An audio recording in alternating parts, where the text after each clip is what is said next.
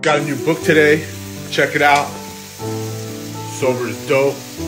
Written by Pop Buchanan. 10 years sober under the belt. was just in his podcast, just dropped yesterday. Today, 12 years sober.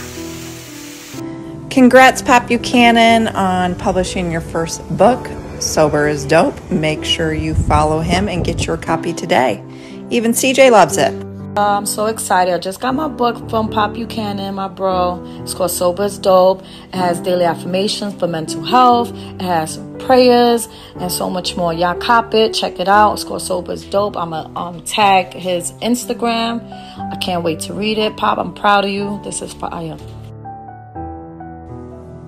I love you all. Don't give up on your dreams. I'm 10 years sober and we got our first book.